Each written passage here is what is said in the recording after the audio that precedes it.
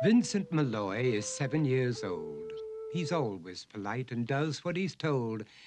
For a boy his age, he's considerate and nice. But he wants to be just like Vincent Price.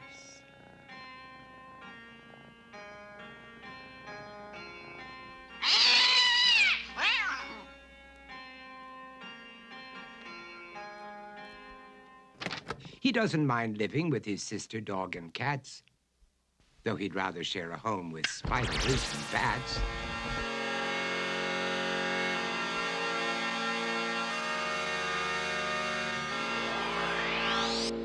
There he could reflect on the horrors he's invented.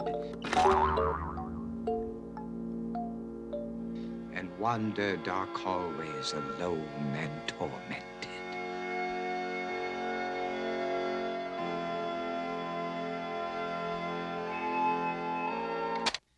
Vincent is nice when his aunt comes to see him, but imagines dipping her in wax for his wax museum.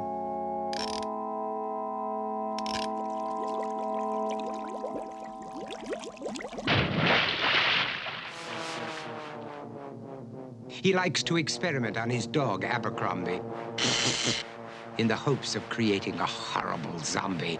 So he and his horrible zombie dog could go searching for victims in the London fog. His thoughts, though, aren't only of ghoulish crime. He likes to paint and read to pass some of the time. While other kids read books like Go, Jane, Go, Vincent's favorite author is Edgar Allan Poe.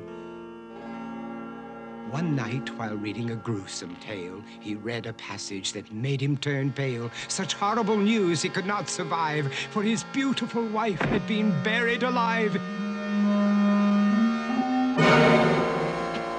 He dug out her grave to make sure she was dead, unaware that her grave was his mother's flower bed. His mother sent Vincent off to his room.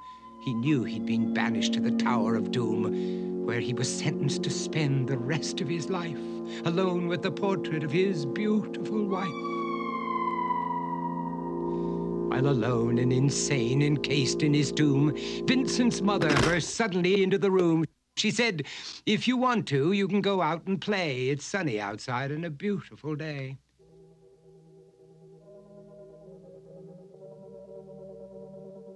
Vincent tried to talk, but he just couldn't speak. The years of isolation had made him quite weak. So he took out some paper and scrawled with a pen, I am possessed by this house and can never leave it again. His mother said, You're not possessed and you're not almost dead. These games that you play are all in your head.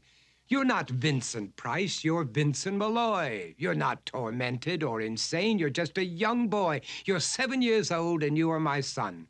I want you to get outside and have some real fun. Her anger now spent, she walked out through the hall. And while Vincent backed slowly against the wall, the room started to sway, to shiver and creak. His horrid insanity had reached its peak. He saw Abercrombie, his zombie slave, and heard his wife call from beyond the grave. She spoke from her coffin and made ghoulish demands, while through cracking walls reached skeleton hands. Every horror in his life that had crept through his dreams swept his mad laughter to terrified screams. To escape the madness, he reached for the door but fell limp and lifeless down on the floor. His voice was soft and very slow as he quoted The Raven from Edgar Allan Poe.